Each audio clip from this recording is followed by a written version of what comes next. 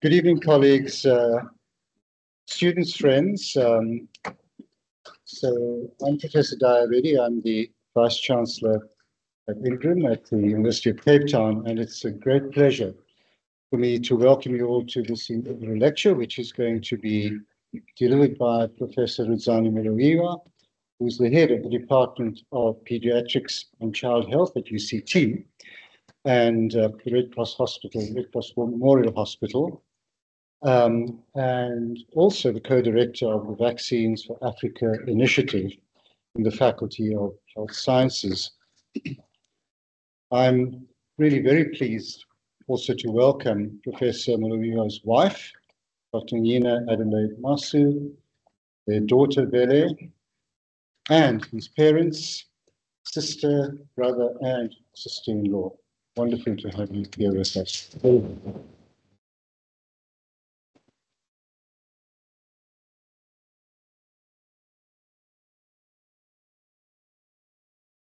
And it gives me particular pleasure also to welcome here this evening our Vice Chancellor Designate, Professor Mosa Moshabela.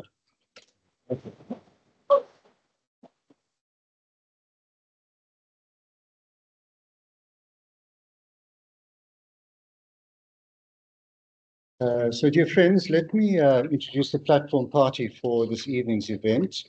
We have on Professor Mosa Moshabela's right, uh, Professor Lionel Green Thompson, who is the Dean of the Faculty of Health Sciences, and who will introduce our speaker shortly.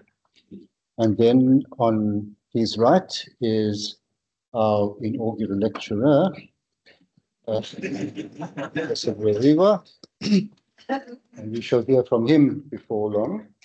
Uh, on his right, we have Mr. Mukoni Ratshitanga, who is uh, International Relations Advisor to the Deputy President of South Africa and who will later on deliver a vote of thanks.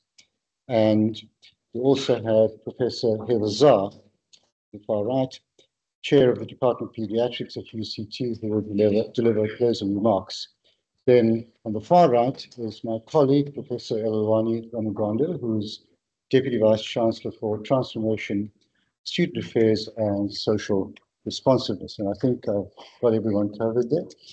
Um, so, um, colleagues and friends, inaugural lectures are really a very special event in the life of the university. They mark the ascent, if you like, to uh, full professorship, which is the highest rank to which a, an academic staff member may aspire, and certainly is one that is aspired to by all serious scholars.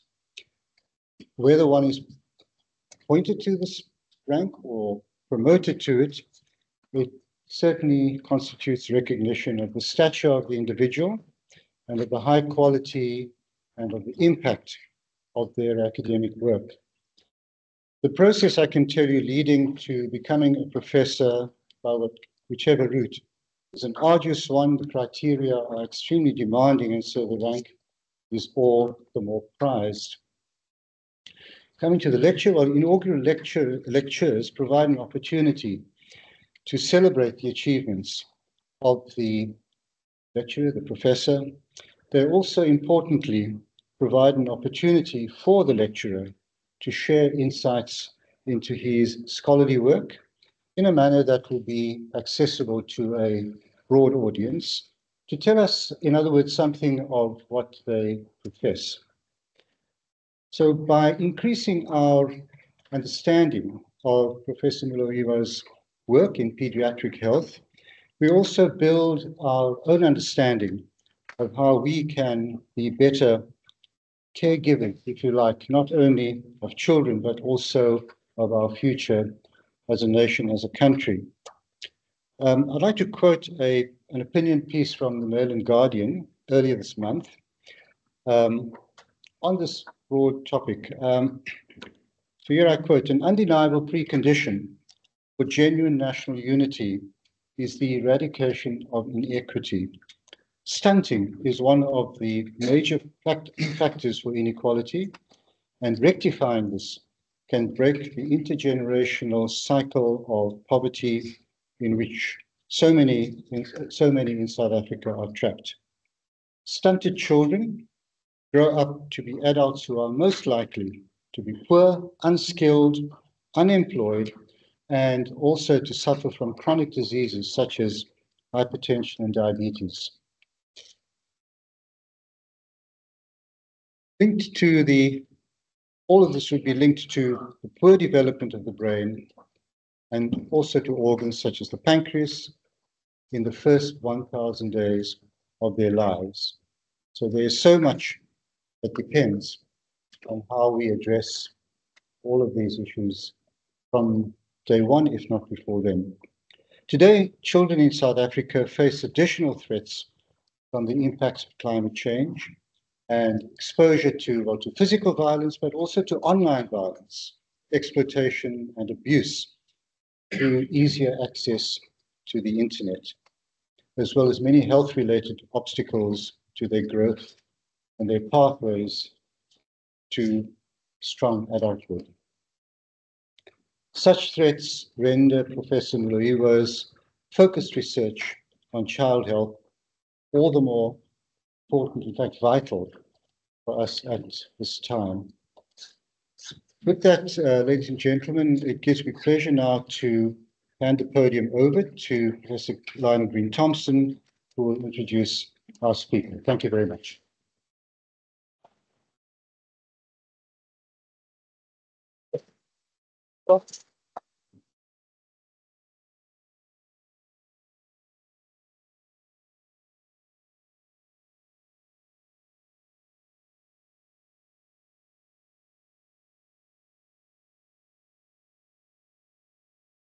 Molweni, sanibonani, Fernand.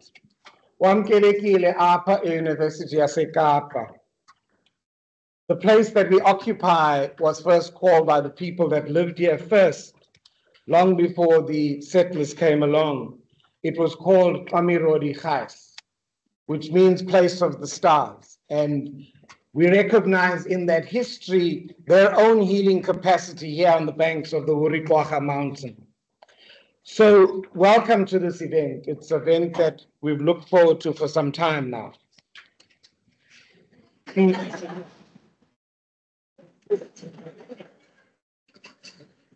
Nda. Nda ndi madikwana. Votanga. Let me start that again so I can hear. Nda ndi madikwana. Votanganedzwa karife mfulu kavanozwi khona.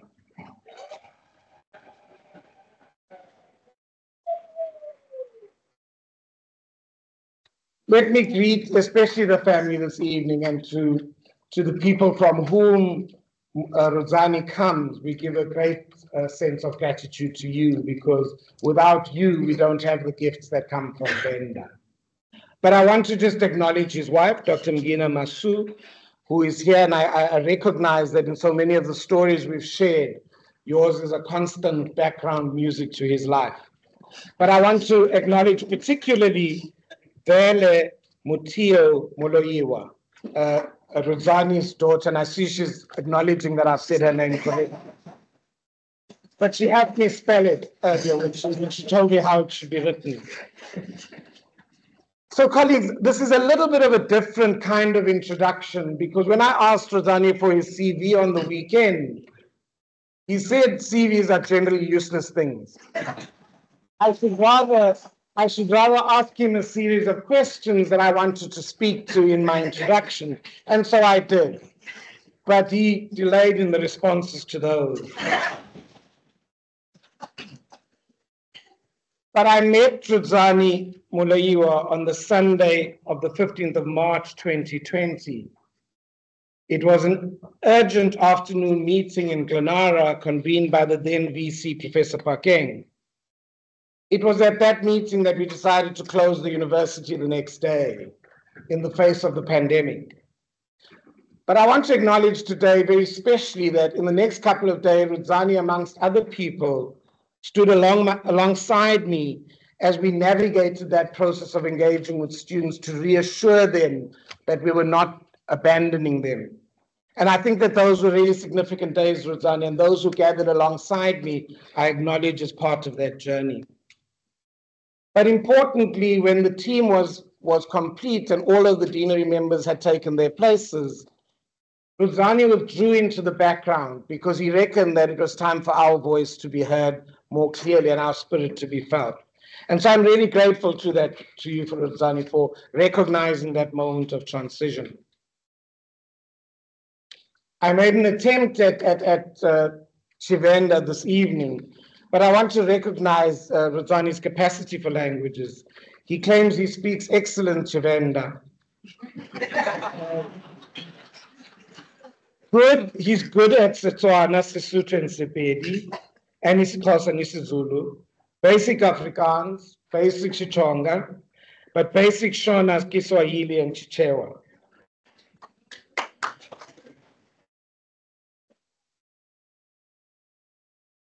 And I make that point, colleagues, because of all of the things that I'm grateful to Rudzani for, is that he's acknowledged our attempt to speak other languages than English in this space. And he's constantly affirmed my rudimentary attempts in that regard. and I challenge all of you to keep trying to do that. But so today, my introduction will be a mixture of, of, of thinking about Rudzani and his place in the faculty and some of the things that have come from his CV, and then some of the things he responded to my email on. And I want to capture those. Some of you may have read about threshold concepts in education. This idea that there are things without which you may not be part of the discipline. These little nuggets of knowledge that you have to master. And I think there's a contestation about what those are. But Cousin, in a, in a, in a paper in, the, in Planet, speaks about this idea that grasping a threshold concept is transformative because it involves an ontological as well as a conceptual shift. And, and if you if you listen to Rudzani this evening, you'll almost certainly hear that ontological shift.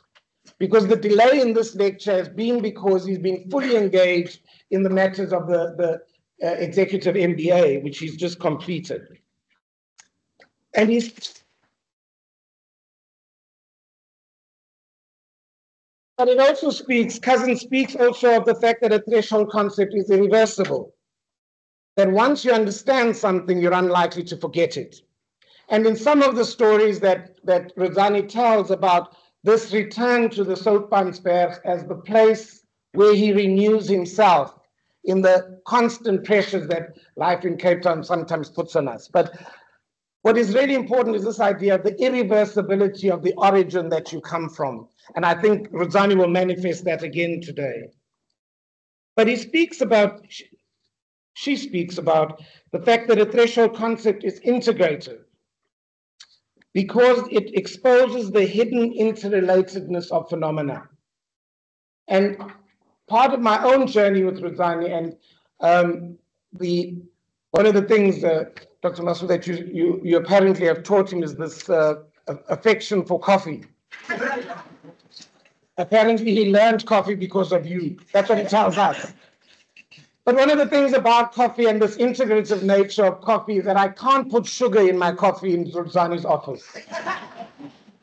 he says he will allow me a drop of milk, but nothing more than that. Um, and it is this idea of integrating something that you care for so deeply into the engagement with other people.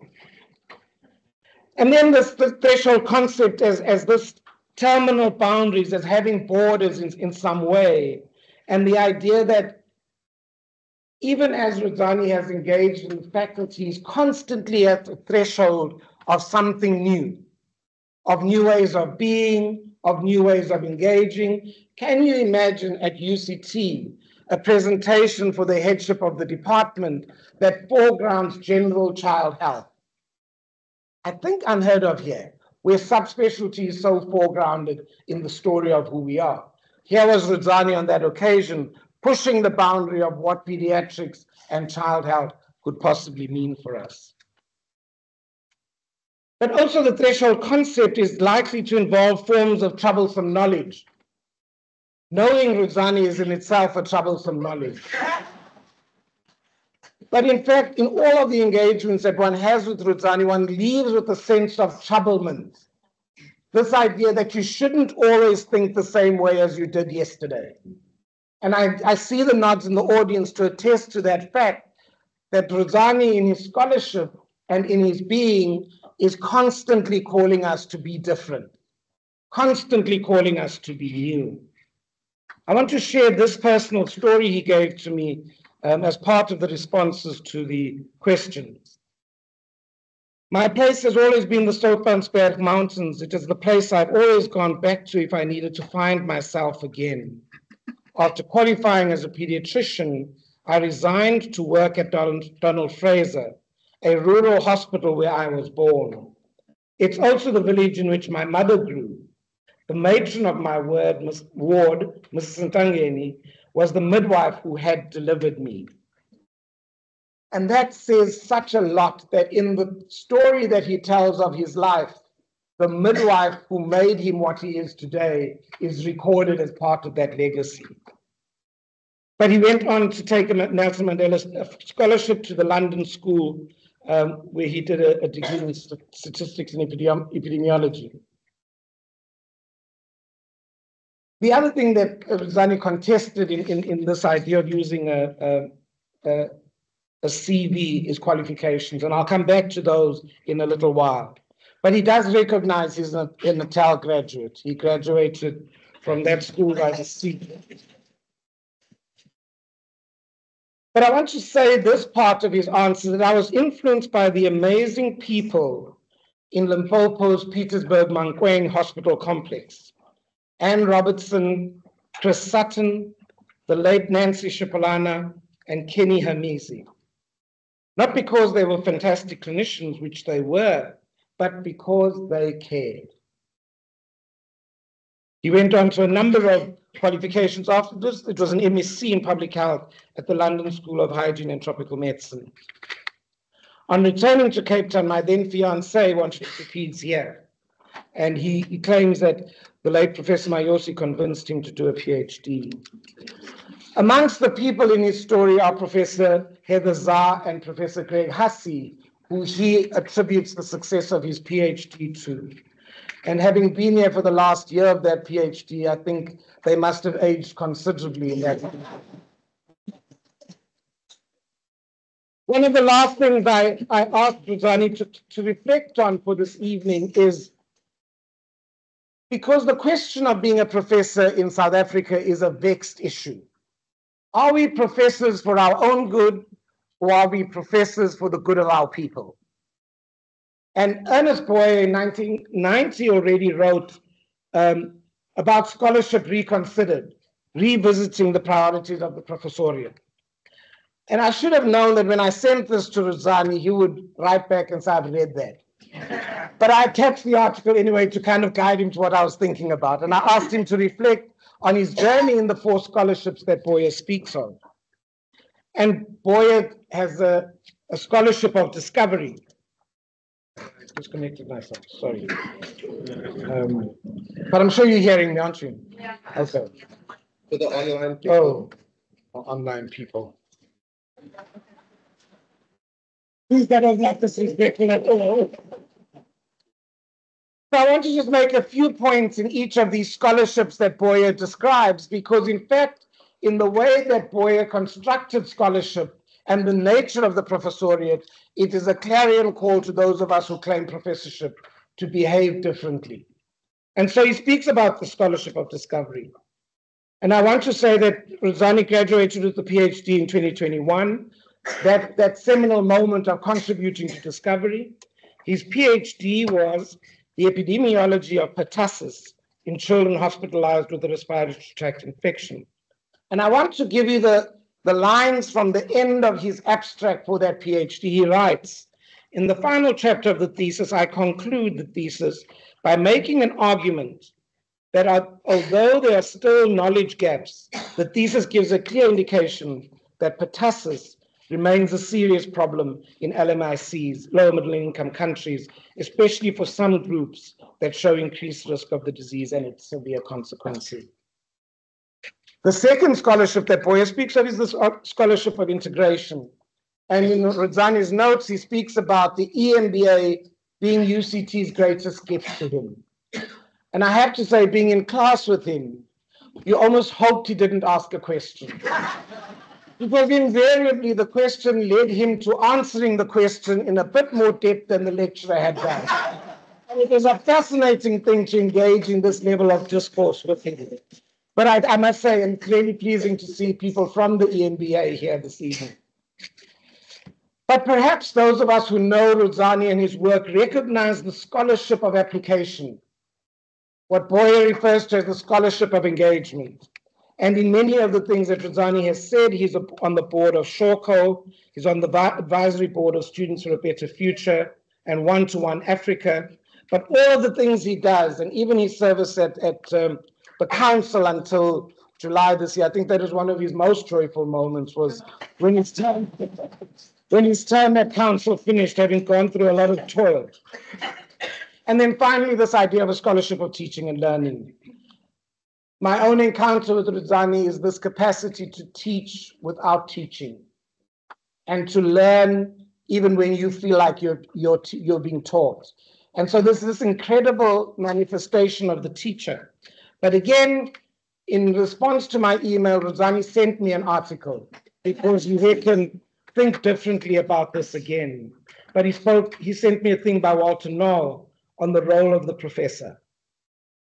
And in the paper, Knoll refers to the teacher, the researcher, and then the professor as something else.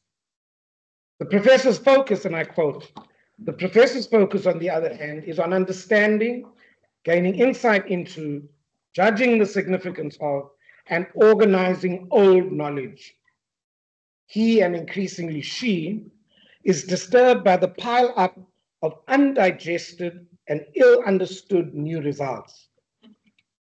He is not happy until he has been able to fit these results into a larger context.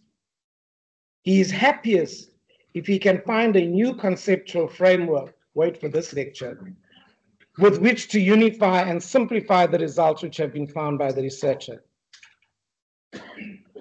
Priority is not an issue for him.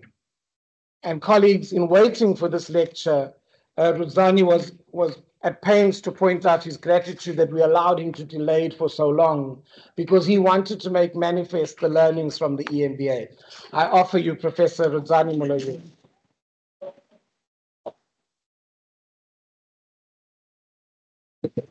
Rivato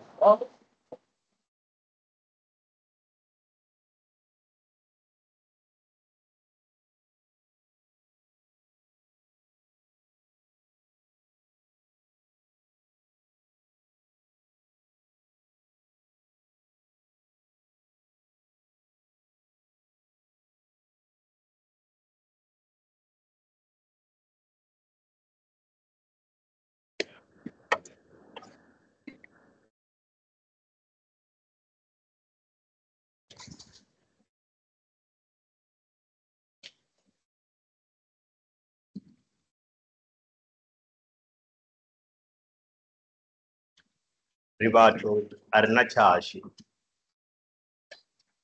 Kudivita hambi lundi siko thundu uvani uno rino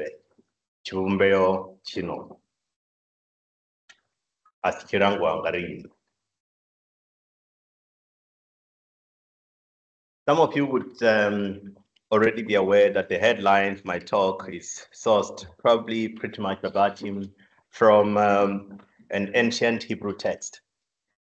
The Babylonian Empire that had been spreading and had conquered most of the Middle East, including what is used to be called Syro uh, Palestine at that time, um, and taken over other empires and pushed Egypt back southwards.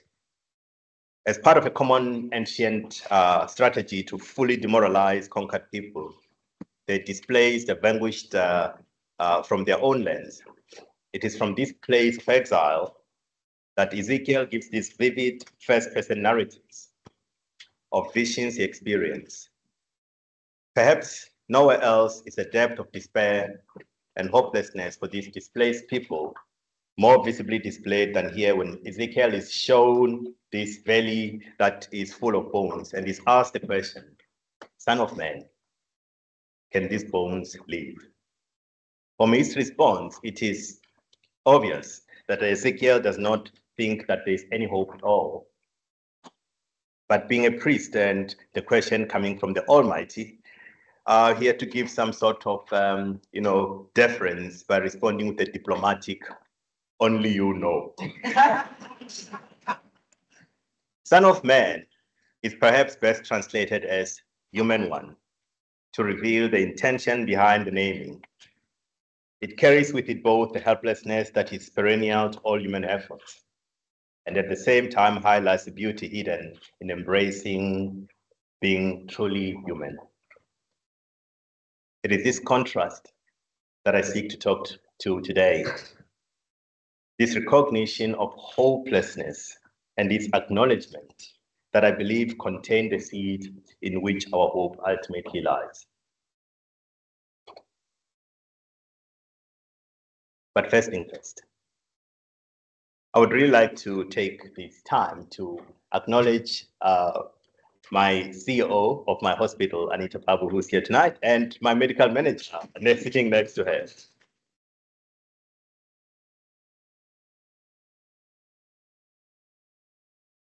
And I would like to recognize um, members of the executive of the University of Cape Town, uh, um, the interim Vice Chancellor, um, Emeritus Professor Daya Reddy, as well as our incoming Vice Chancellor, Professor Mosa Moshabela. Acknowledge members of the university executive who are also here. Um, and I would like to thank the Dean of my faculty by indulging me by waiting so long before making me do this. Um, and I really promise to be kind and gentle by trying to read from the script than, than off the card. And I really want to thank you for your generous introduction this evening. Thank you very much. But I would also like to acknowledge members of my department who have come here in large numbers to support me tonight, and um, and I really appreciate that. And in doing this acknowledgement, I'm well aware that at the end, I'm going to fail to acknowledge all of you in the way you deserve. Throughout this lecture, however, I'll be dropping names. Um, and those names will be, dropping those names will be ways of acknowledging you. But I do hope that whether named or not, in parts of the lecture, you'll recognize yourselves as highly valued and acknowledged as those who have made my life and that of our community truly rich.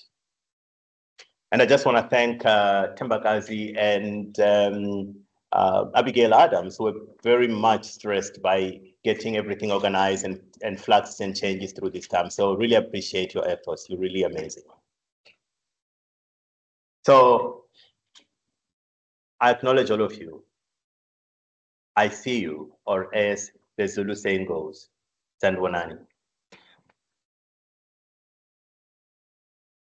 This is a photo of Emmanuel Mugenzira, one of the survivors of the Rwandan genocide. And I met him 15 years ago in 2009 when I had the privilege of attending a conference in Butare, a city in the southern parts of Rwanda. One of the activities the delegates undertook was to visit a local site that commemorates the 1994 genocide. For some reason, I only took this one photo of him. This is the guy who's holding his hand like that. The visit and the photo for me completes and completed a journey that started at medical school in 1994. That year, I was doing my second year in medicine at the then University of Natal although my parents don't know this, they were only finding out. I almost failed that year. In the very month in which we held and celebrated our first democratic elections, a great massacre was unfolding north of us. And Although there was no internet, I scoured newspapers for stories on what was happening, including stories on the refugees who were dying in thousands. And I fell into the state of uh, depression that I stopped going to class. I had to see a psychologist. And to be honest, I, it was not because I thought I needed a psychologist. I, I, I, I needed uh, some grounds for appealing what I thought was in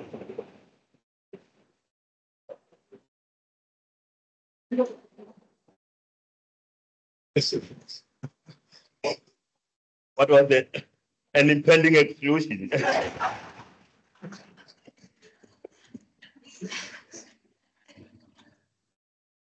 Honestly, what turned the tide was me taking time to go home for the June holidays that year, which actually helped a lot for to get a chance to to find myself again and to come back and pass the year.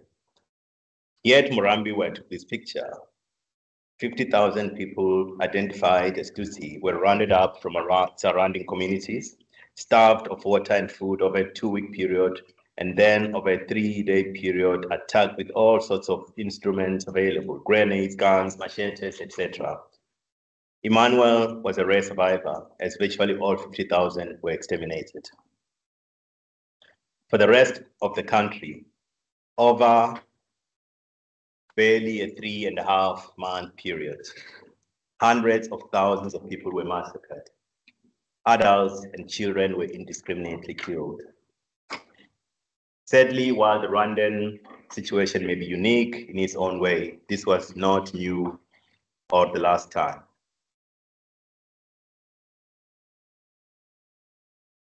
The world is rife with formally declared and undeclared war on children. In these wars, adults kill children. It happens all over the world. Adults have always killed children. Very often, the killing is direct and violent. When that happens, the killing is accompanied by elaborate explanations and well articulated arguments of why it had to be done.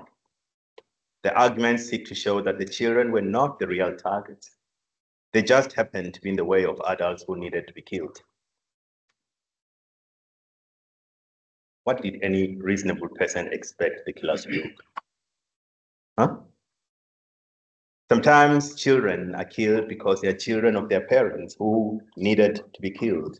In this case, no hard explanations for justification are required as the children hold the membership of groups of people that need killing.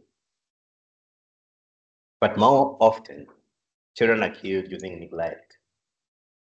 This too is accompanied by well articulated arguments of why their killing is unavoidable.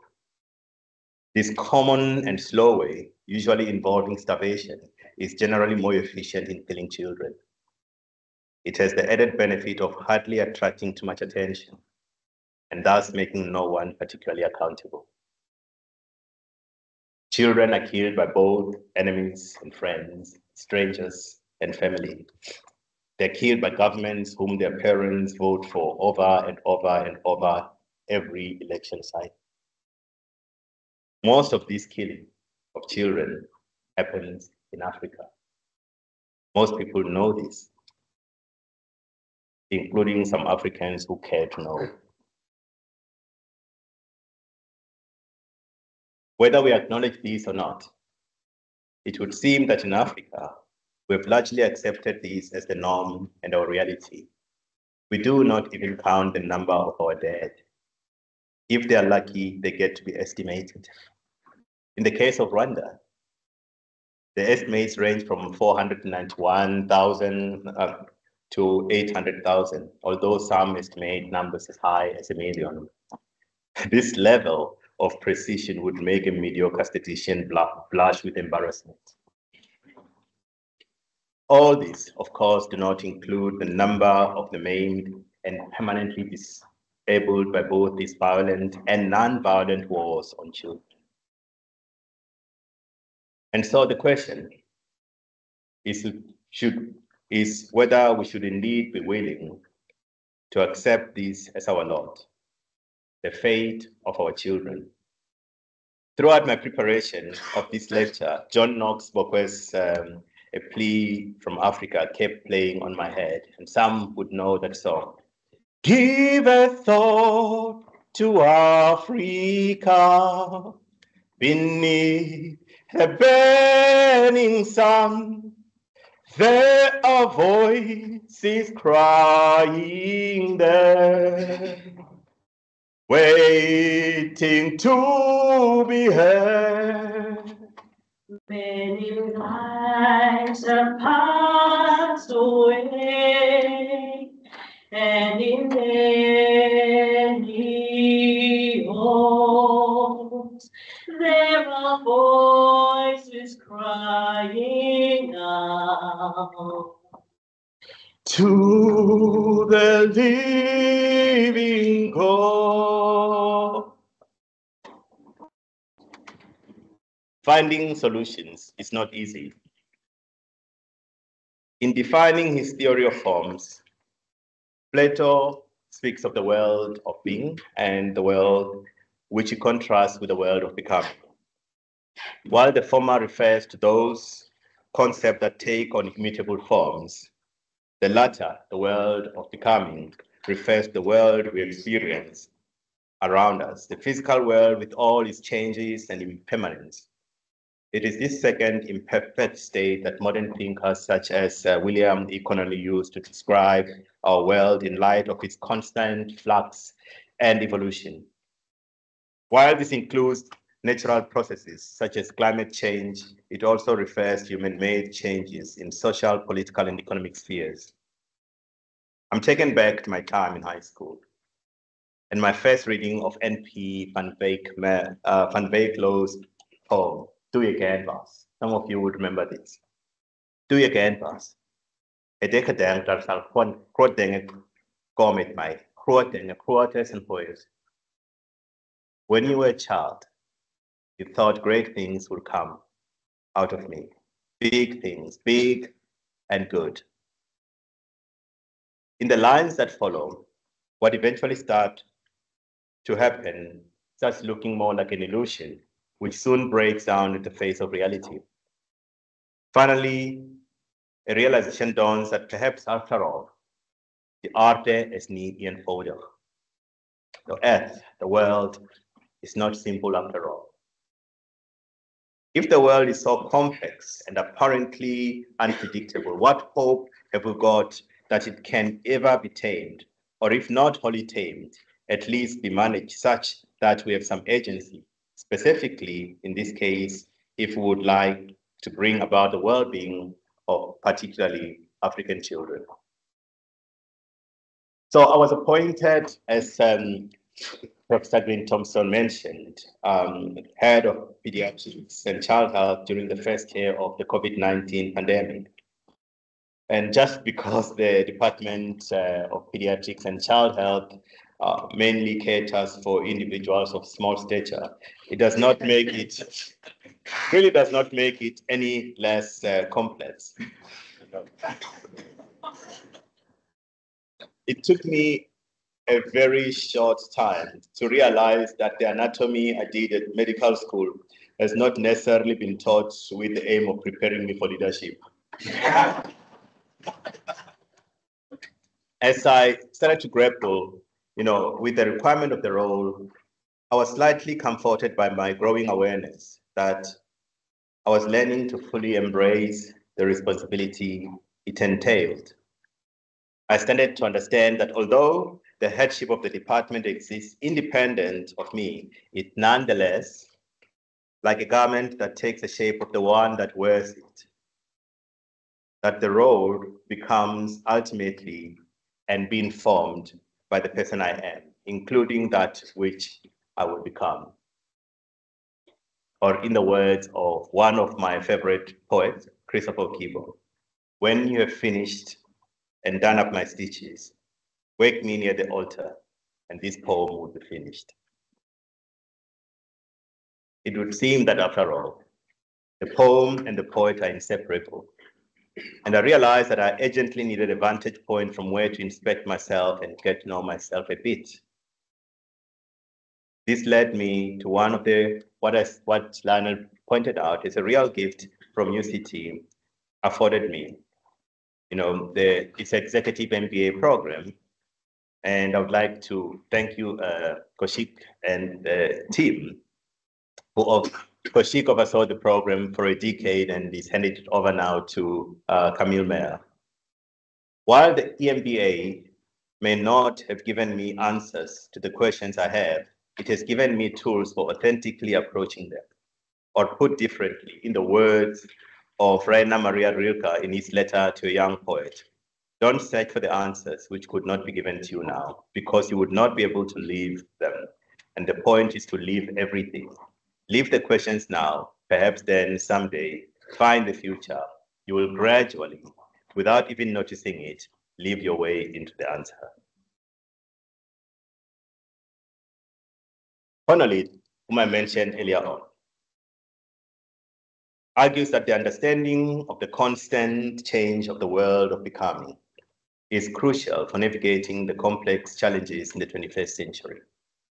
This is what I sought to do with my EMBA uh, journey, and in particular, the mini dissertation. For us to understand, we perhaps have to take a bit of time and a moment, and I'm going to try to explain this as best as I can. You know, the basis of the approach I took and this should be seen in three levels where there's a philosophy, there's methodology, and ultimately the tools underlying that approach. First, the philosophy. So if the world is complex, then it should be obvious that the philosophy to make sense of it must have the ability to engage with this complexity. Specifically, a philosophical outlook that by default acknowledges that the world is complex and contains many parts that affect each other in both obvious and perhaps not so obvious ways. That philosophy, it seems, would be indispensable for such a complex world. This is what the kind of concept I'm talking about is what has been referred to as a systems approach. And for this, I largely relied on the work of C. West Churchman. Churchman's approach to whole systems is a comprehensive framework um, of for understanding and managing complex systems. It emphasizes the importance of considering all aspects of a system, including its environment, resources, components, and objectives. Churchman believed that traditional approaches to problem solving, which focus on optimizing individual parts, often fail to consider the broader context and can lead to unintended consequences. For me, the value-based worldview that is central to Churchman's approach to systems seemed most suited to the question which involves children.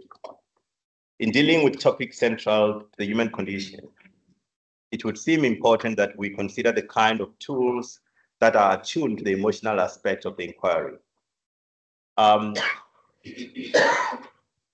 someone called Karl Weick, who is an organizational theorist, he points out that theories must contain sufficient emotion to move others. And that's precisely what the philosophy that churchmen think I need um, what Churchman does uh, uh, is engage with this at that level. Churchman was later himself declared, as he looks at his work, that it would be a good thing if the system planner's germination was moral outrage and not just a mild felt need. In other words, he says, I do not think we should view the major problems of the world today with a calm objectivity. We shouldn't first ask ourselves for a precise and operational definition of malnutrition. We should begin with kids are starving in great numbers. Damn it all. From a methodological point of view, the methodological approach that I took is based on the work of Churchman's student, uh, Werner Ulrich a system that developed that is known as critical systems heuristics. And this is a framework for reflective practice designed to help us think critically and systematically about any situation of concern. And maybe a breakdown of that expression, critical systems heuristics, would be helpful. So critical, meaning reflectively inquiring into the validity of current thinking with a quest to uncover improved ways of perceiving and viewing the situation. Systems, as what I mentioned earlier on, which is uh, seeking a holistic view and solution. one connected with past reality, but also seeking future relevance. The process itself is one of sewing in views as opposed to seeking one ultimate correct view and solution. And finally, heuristics, which is a process where all participants in the situation collectively learn their way towards a shared understanding and alignment around it. That's what critical systems heuristics. mean. I hope I'm not complicating. It rests on what Ulrich terms boundary critiques, which, which got its own associated issues. And to understand this is that in the center of these critical systems heuristics is the idea to expose and uh, examine the assumptions we make when defining a situation. What are the things we consider to be relevant in terms of knowledge and values? And what do we exclude? A critical systems um, heuristics approach questions these assumptions critically, leading to a more inclusive and nuanced understanding of the world. And by questioning these areas, then those, those situations include, you know, basis of motivation, basis of power, basis of knowledge, basis of legitimacy, all those kind of things when considered, um, they uncover hidden biases, identify alternative perspectives, and make more informed decisions. And that's what critical systems means. And that was a methodological approach that I thought would be useful for us to take in this case. And finally, the tool. And here I would really like to thank my mentor and uh, EMBA supervisor, Professor Johann Strumpfer, who's sitting there. Thank you very much.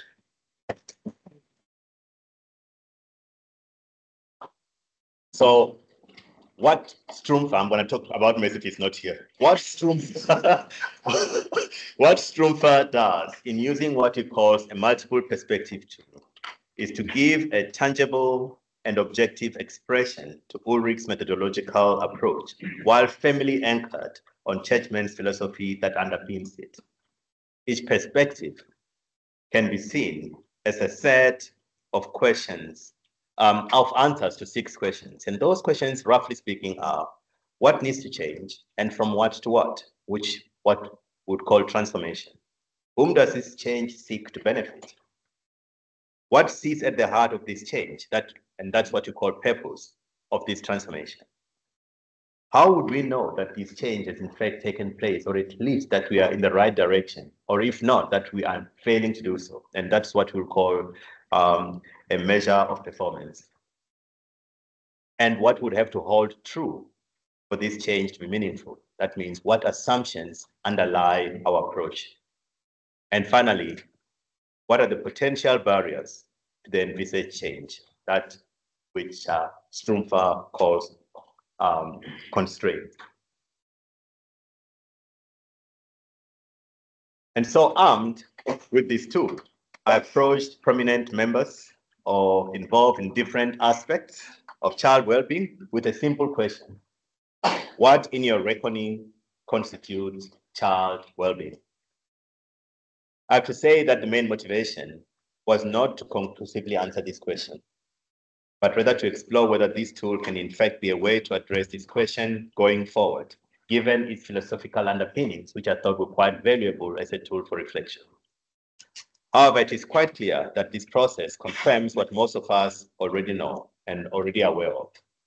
It is not possible to realize child well-being in piecemeal, in a piecemeal manner that does not factor in all aspects of society and without involving all members of our society in a meaningful way in the construction of new realities.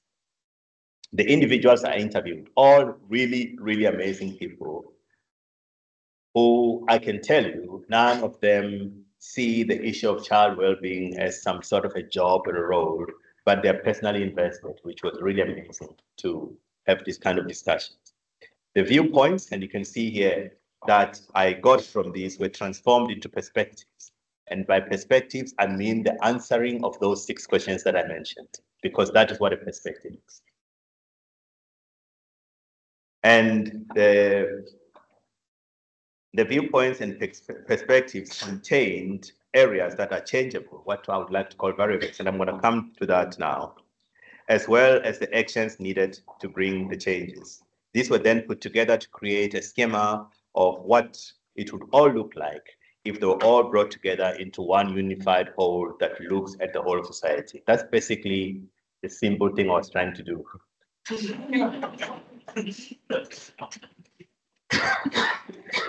what did I discover?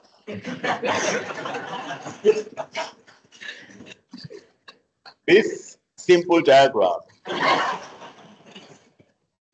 shows just a few things that I would like to list. It shows that it's not possible to make children well unless you look after their mothers. It should be immediately obvious to a society such as ours that does not value women that child well-being is impossible. And unless that changes, our children have no hope. Two, it is not possible to bring about the wellness of children and their mothers while at the same time neglecting their communities, including family units. As one of the participants pointed out, Sweden only turned around its child health outcomes when it invested into supporting struggling families. Last night's uh, talk by Anita was entitled, It Takes a Village to Raise uh, a Child. You know, while this notion has always resonated with me, I'm beginning to understand that in a coherently integrated society, the reverse is as valid. It takes a child to raise a village. And that's because if society starts taking the well-being of children seriously, it will have to change so much that the well-being of everyone will be accommodated. That's just as simple as that. If you look after children and their mothers, you will have better society. You can't do it in any other way. It's as simple as that. Thirdly, political will is critical to creating an environment in which child well-being can be realized. And political will can be passive or active. So you would like politicians to work positively towards realizing of this. You can see from this diagram how much that matters to child safety, to safety of communities and but at times you just want them not to interfere too much so that other people can get on with work.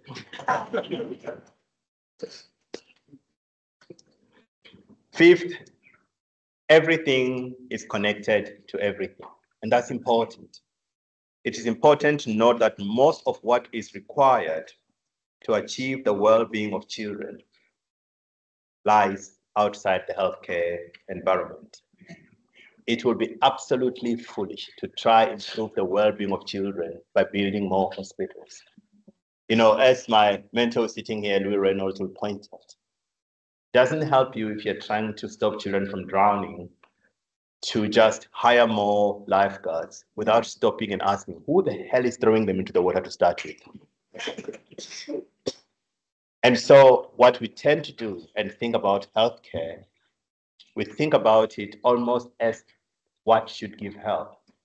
It's interesting to note that high income countries do not get better healthcare by building more hospitals, but by making sure people don't get sick. And so it is with child well-being. And finally, sweeping in multiple perspectives, as uh, Johann Strumpfer put it, allows us to see where the gaps are and who's missing from the table. Because multiple perspectives bring people together. If you bring these people together to be able to understand, you'll soon realize that there are some missing the table. And that's quite important, which is why with this, I wonder and ask, I mean, I couldn't interview any children. I didn't interview anyone from a rural area. I didn't interview certain professions and certain other groups and areas of people. Immediately you start seeing gaps. So that model can be built to be more complex to reflect the complexity of the world. It doesn't help you to create models of understanding that are simpler than the problem is supposed to solve because they will fail. Um, Kosheek likes uh, quoting uh, um, Harry uh, Tsoukas, who says, don't simplify, complexify. It simply means that the tool you use to respond must be appropriate for what it's supposed to do. And a complex world may very well demand complex models because they're the only ones that can contain it in order to make a difference. And that's what this means. So, should I move this so that?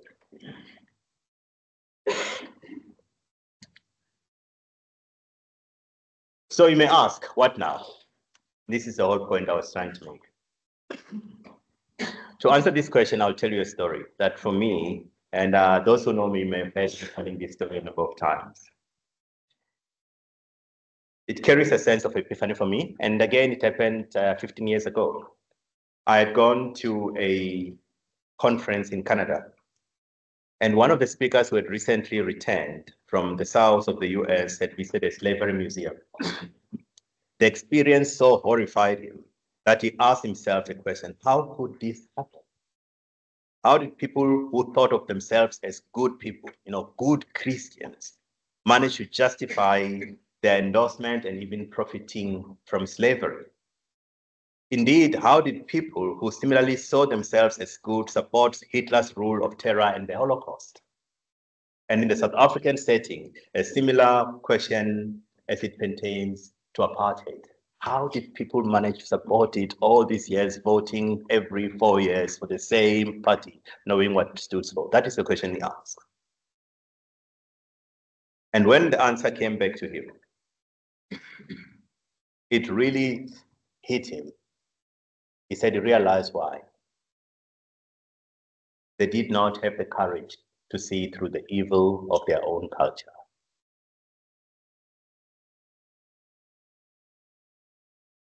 And that realization led him to a different question. Is there evil right now that we are part of, that we are supporting, either directly or indirectly, perpetuating such evil today that we do not see, evil which future generations will judge us for, as those who took part in slavery are similarly judged, because we do not have the courage to see through the evil of our own culture. And I believe that the wellness or lack thereof of the African child is one such area of evil that perpetuates and we don't see it. I opened with the Tshivenda poem. That may have shocked you because most Sims don't speak Tshivenda, which is quite strange. the poem, which is titled Usiwan. This word can be directly translated as orphanhood, but should perhaps better translated more accurately as destitution. In only four lines of which the poem consists. Sigwaburimu, the poet, paints the apparent inescapable hopelessness of the human condition. We are human, he says. We are empty handed. Each heartbeat is but a stranger in transit. To this thing we can lay no claim. The current form is beyond us to command. River to Arnachash. It may seem to some that I'm just going on and on about this hopelessness thing and going on my way to depress everyone. my intention is the exact opposite, as was Sigwaburimu's intention. I wish I had the whole evening to build the context of these four lines within Sigwaburimu's thought processes. Um, some of you know that I probably read more poetry than medical books. It's been the case Suffice it to say here that what it intends to do is to highlight the futility of narrow individualized worldviews in which the self is isolated from the communal. The futility has to be recognized if new forms have to be built. If we have to have a chance of redeeming situations, situations that are seen as hopeless, we first and foremost have to develop the courage and honesty to see the situation for what it is. You don't emerge out of hopelessness by ignoring that your situation by default is hopeless. You have to start with that. Following this, we will need to find ways of creating integrated communities in which different perspectives needed to leave the questions can be found and such perspectives can find a home. And even if we do not know the way or how to get there, it's a journey we cannot avoid if the well-being of the African child is important to be realized and we take that as our mandate. We can find some solace and encouragement from the words of Wendell Berry. If you remember what he says when he says, it may be that when we no longer know what to do, we have come to our real work, and that when we no longer know which way to go, we have come to our real journey. The mind that is not baffled is not employed. The impeded stream is the one that sinks. So it's in the spirit of this, before I conclude, that I would like to give thanks to the community that has cocooned me before and today, so that the human weaknesses that I carry can be partially offset. And to this, I can think of a lot of mentors, both still with us and those departed, but definitely not forgotten. I'm thinking about uh, some of you who's sitting here, like, you know, Louis, uh, Mary Jane Reynolds, who are here, uh, Professor Marion Jacobs. I see my head of department when I arrived here, you know, Dave Power. There are a number of these, and behind him another one of my head of my previous head of departments. I'm actually quite privileged to have a number of heads of departments here that have been and served as mentors. And um, uh, and then there is uh, uh, Professor Bongani Mayosi, who is never too far away from our thoughts at every turn. The many friends online, those um, who are sitting here, and I just have to mention my good friend Charles, who traveled the whole way from Joburg. As well as my good friend Mukoni, who will give a vote of thanks. Mukoni and I started school uh, the same rainy day under the same tree in our village. And I'm truly grateful to my parents too for everything they've done for all of us, you know, your five children. Uh, for me specifically, thank you for the words you gave me as a child that are echoed by the two divergent world, worlds that you, you inhabit, in fact. One expression says, what shall it profit a man to keep the whole world and lose his soul? And another one that says, What Mafura Baduriyo.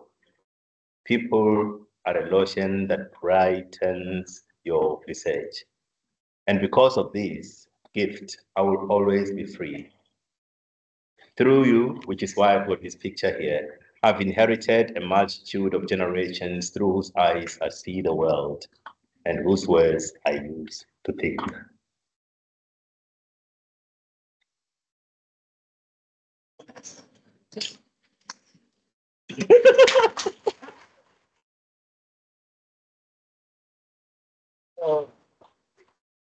Thank you to Vere and Gina. Um, in a very real way, you know, uh, you are part of the reason I'm here today. You know, you and Gina have been the most important agent for the doors that closed and could not be opened, and those that opened and could not be closed that led me to this podium. And were twice named for a great grandmother and grandmother your to meet. You have given me a true appreciation of the value of the African child. So thank you very much.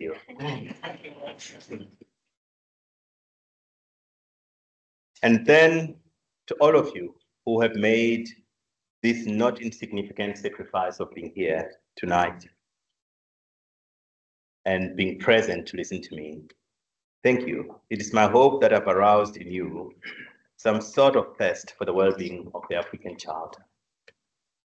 And with that hope that a community can achieve if it chooses to do so. I end with a gift for all of you, a question that is framed by the words of Luis Rosales. This is what I wrote. Can these bones live? Here in the valley of forgotten memories, where each name cries out for its long lost echo, where the vultures have long since taken wing, here where the long shadows threaten tomorrow's sun rays, can these bones live? Can they take on the shape of flesh? Can they sprout dreams deep enough to fill the promises you have made? Only you know. Thank you.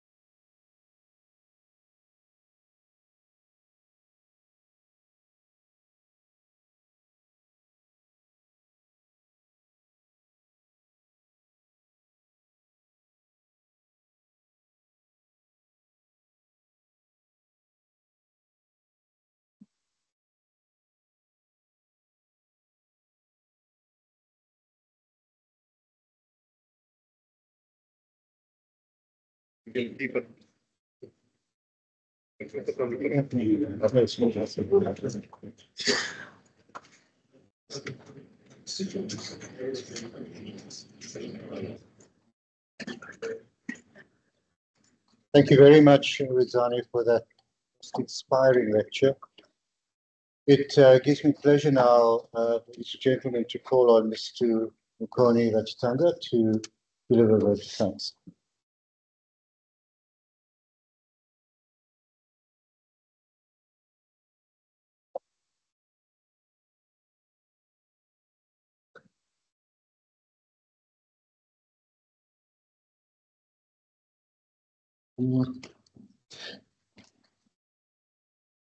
Professor Daya Reddy, the interim vice chancellor, Professor Lionel Green Thompson, Professor Heather Zar, my sister, Dr. Ngina Masu, and uh, Vere, uh, Professor Tifuluperi Walter Muloiwa, uh, Mrs. Kanakana Muloiwa, ladies and gentlemen, good evening, the Madekwan.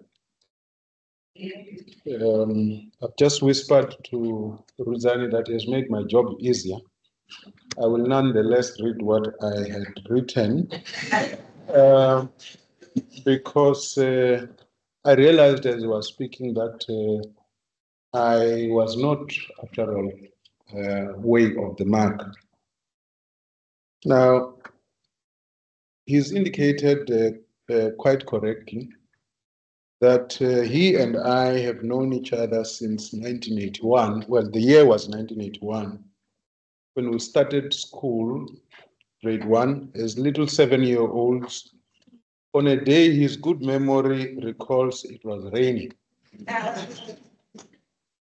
I confess to having endlessly agonized in attempts to summon back some key aspects of that day to memory, but without much success. What I do recall, however, is the anxiety of finding myself in the new and unfamiliar environment into which my late parents had unexpectedly thrust me. I was recently overcome by the same anxiety when Rudzani approached me to speak on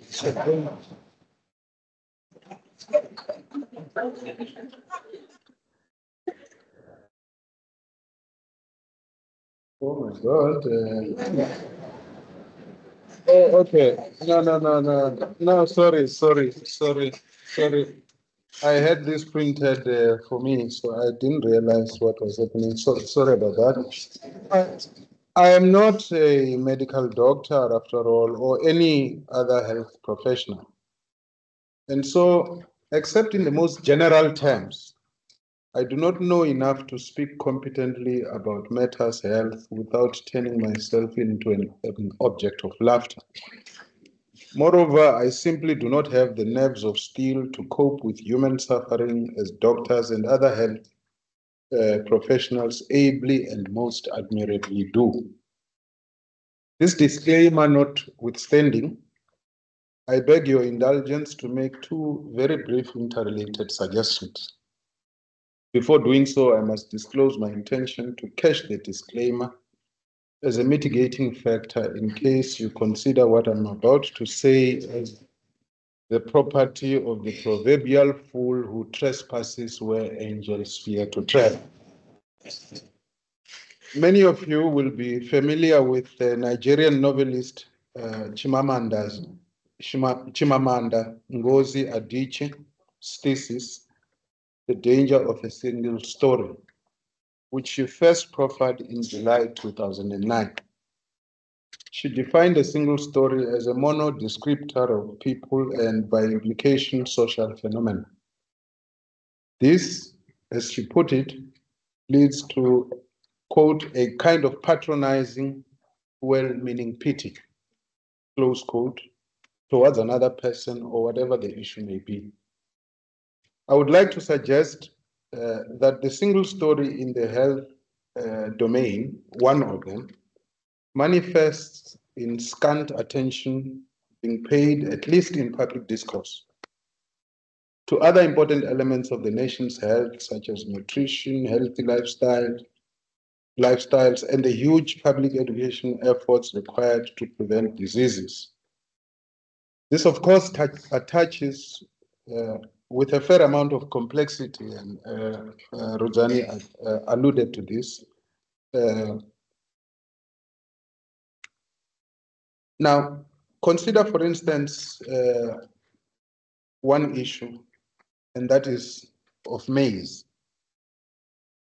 Uh, and its uh, prepon- preponderance over the national diet uh, since uh, uh, a number of since its introduction to our shores in the 17th and 18th centuries the resultant collective habits rituals beliefs consumption patterns and the small matter of economic means its multiple implications on public policy and above all social and political stability and according to a paper by Oliver Mendoza Cano et al., published in the International Journal of Environmental Research and Public Health, quote, corn or maize is associated negatively with cardiovascular health and other diet-related chronic diseases such as diabetes. This relates to the point that Rudan was making earlier about uh, successful countries are those that prevent people from getting sick. The biggest dangers of the single story as a descriptor of otherwise complex social phenomena its dehumanizing value, uh, which perpetuates tunnel visions, which in turn lead to catastrophic, catastrophic failures in public policy. The second suggestion I would therefore like to make is that an, another of the of the multiple manifestations of dehumanization and potential public policy failures arising from the single story narrative, which will increasingly implicate the medical fraternity amongst others, is the thorny issue of migrants and their access to valued public goods such as healthcare including, by the way, their children. Let us listen to Chimamanda Ngozi Adichie's personal experience in this regard. Quote, a few years ago, I visited Mexico from the US, and the political climate in the US at the time was tense, and there were debates going on about immigration. And and as often happens in America, immigration became synonymous with Mexicans.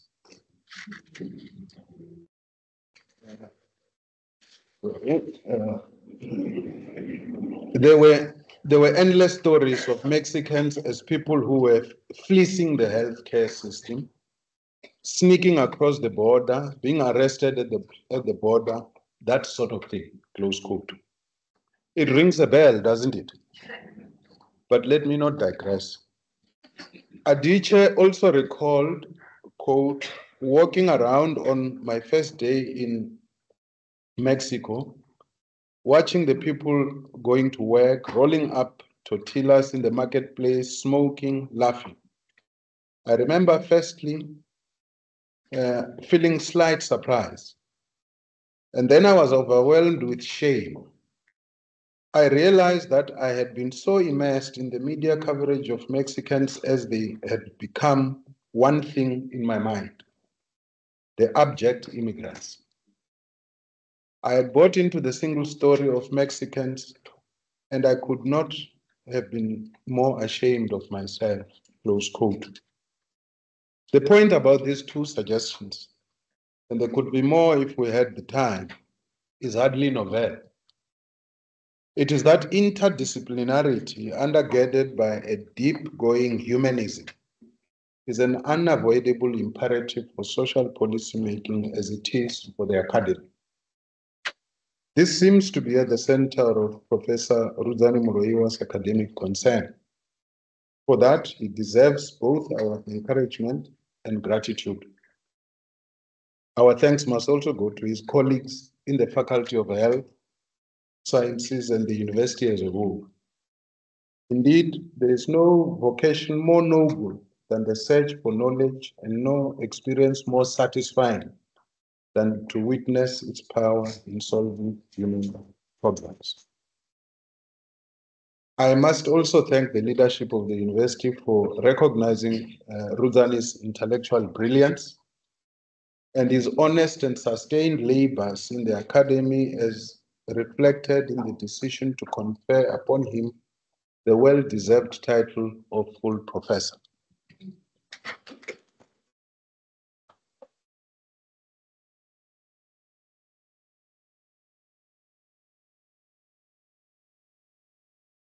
I am aware that as a humble person, and I can tell you lots about that. Quality of his, as a humble, as a humble person, titles do not make Rudzani tick. But the achievement we're, ma- we're marking and celebrating today belongs not just to him, and we're all therefore within our rights to afford ourselves a little pride and celebration. Which leads me to another set of people who must be acknowledged and eternally thanked for making this evening possible. They are the community of Ngobele, the village from whence he comes. Our dear parents who are here to, uh, tonight, Professor Muloiwa, Senior, and Mrs. Muloiwa as well as uh, beloved wife, my sister Ngina, and Vere and, and the siblings. Their combined efforts in ultimately getting us to this venue tonight and the path uh, will tread into the future is as invaluable as it is and think as it is unquantifiable. Really buwa. Asante sana. Enkosi. Baya danki. Thank you very much. Thank you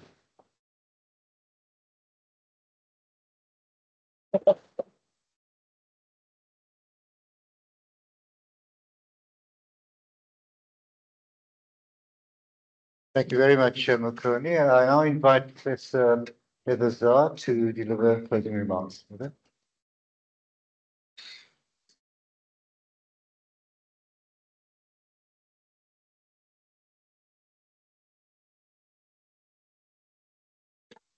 Thank you very much.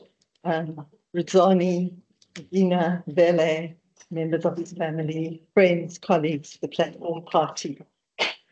What a privilege it is to be able to say a few closing words to this giant of a man who we've heard today. You've heard about his career trajectory, you've heard about his accomplishments, you've heard his intellectual breadth. And I just want to add, maybe in closing, some personal comments.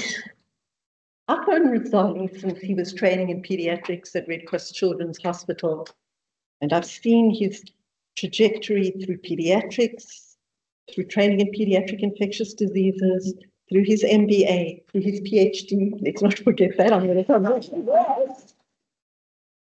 through his leadership positions in the faculty, in the university. And what hasn't been highlighted tonight is his leadership positions in vaccine, in vaccines for children, uh, vaccines for Africa, he co-directs, but also his leadership positions on national, regional um, immunization advisory groups and international groups concerned with childhood immunization. And now, of course, as head of Department of Pediatrics and as my boss. I'm always very proud to say he was my student, now he's my boss. I was extremely privileged to supervise his PhD, which as uh, Professor uh, Lionel Green Thompson mentioned, was on whooping cough in children. And this is a completely preventable disease in children who receive the appropriate immunization. But Rudzani in his work not only showed that it was a really important cause of children being hospitalized at Red Cross, but he undid existing dogma that has existed for years the World Health Organization and other big um, uh, uh, other bodies who put out practice guidelines had in their guidelines that children should be diagnosed with whooping cough only if they'd coughed for two weeks or more. Well, Rudzani showed actually children develop illness within one to two days, and many children were not being diagnosed or treated. And he identified vulnerable groups of young children who were more at risk of severe disease those living with HIV, those whose mothers had HIV, but who themselves were not infected because of our very good mother to child prevention program, those who were partially immune. And this has contributed to changing global guidelines, WHO guidelines, our own guidelines, and most recently, the introduction of a vaccine for whooping cough for pregnant women in this country, which was only introduced this year as a strategy to protect their infants.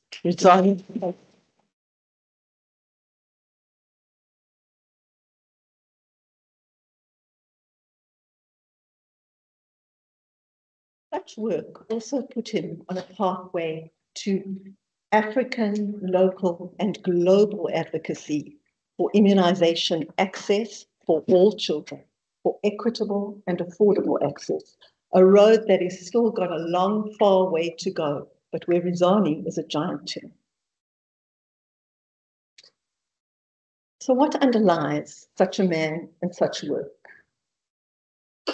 He has extraordinary vision, as exemplified by his brilliant photography. Look at this photograph that he took of a mother and child. There's the theme of mother and child that he's raised before at Red Cross Children's Hospital, and that we were privileged to be able to put on a major international um, uh, um, publication of the global burden of respiratory diseases in the world. You can see his empathy, his care, his care for the most vulnerable. Yeah.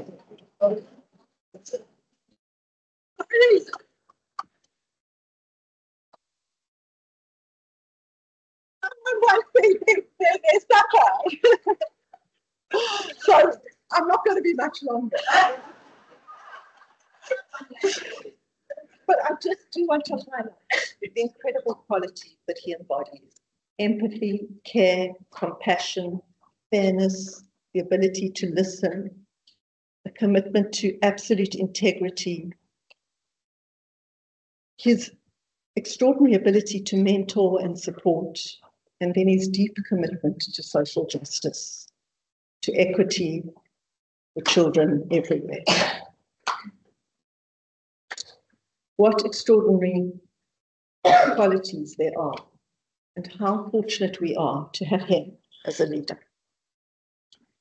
Thank you, Rudzani, for your inspiring leadership, for your example, for the work you do for children in Africa and beyond. Thank you.